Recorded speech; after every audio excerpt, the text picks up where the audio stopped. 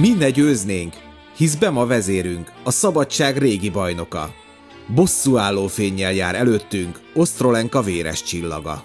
Petőfi Sándor az Erdélyi Hadsereg című versében megemlített József Zakarias Bem, vagy ahogy mi magyarok ismerjük Bem József, a Magyar Szabadságharc lengyel származású altábornagya 1794-ben született Tarnóban.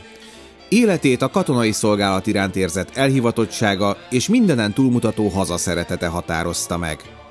1848 őszén felajánlotta a szolgálatait Kossuth Lajosnak, így került az erdélyi hadsereg élére. Bem példamutató magatartásával hamar tiszteletet érdemelt ki a katonák körében, és rövid időn belül sikerült kiszorítani a császári erőket Erdélyből, ezzel megakadályozva, hogy az Alföldön harcoló honvédseregek két tűz közé kerüljenek. A folyamatos túlerővel szembeni védekezés, amire zömmel újoncok álltak a rendelkezésére, felőrölte az erdélyi hadsereget, és július 31-én Segesvárnál döntővereséget szenvedtek az Egyesült Osztrák és Orosz erőkkel szemben. A szabadságharc bukása után Bem József Törökországba emigrált, ahol gyakorlati okok miatt áttért az iszlám hitre és felvette a Murad nevet. Az orosz kormány a menekültek kiadatását kérte, amire az oszmán birodalom a legutolsó békeszerződés során kötelezettséget vállalt, kivéve, ha a menekült áttért a Mohamedán hitre. Ugyanakkor a lengyel és magyar hazafiak a közelgő orosz-török háborút várták, és ahhoz, hogy a török oldalon harcolhassanak, fel kellett venniük az iszlám vallást. Bem ezt már nem érte meg, de utolsó helyőrségében még egy fényes győzelmet sikerült elérnie. A mai Szíria területére Aleppóba küldték azzal a céllal, hogy megszervezze a város véderejét. Majd amikor egy nagyobb rablócsapat támadta meg a várost, a tábornok által irányított tüzérség súlyos vereséget mért az ostromlókra.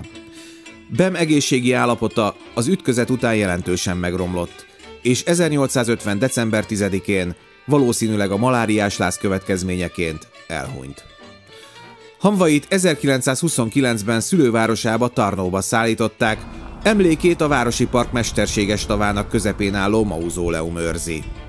A hat korintoszi oszlopra helyezett szarkofágba helyezték a bemhanvait tartalmazó koporsót, valamint azokat az urnákat, amelyekbe a szülőházának talapzatából az iganiai, osztralenkói és a magyarországi csataterekről származó földet helyezték.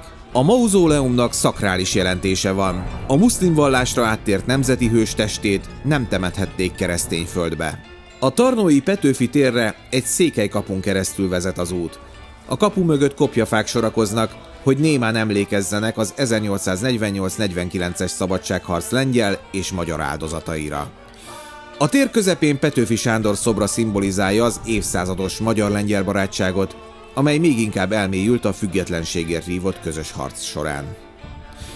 Budapesten utca és tér viseli Bem József nevét. A Duna budai partjának Margit híd és Lánchíd közötti szakaszát 1950-ben halálának századik évfordulója alkalmából tiszteletére Bemrakpartnak nevezték el.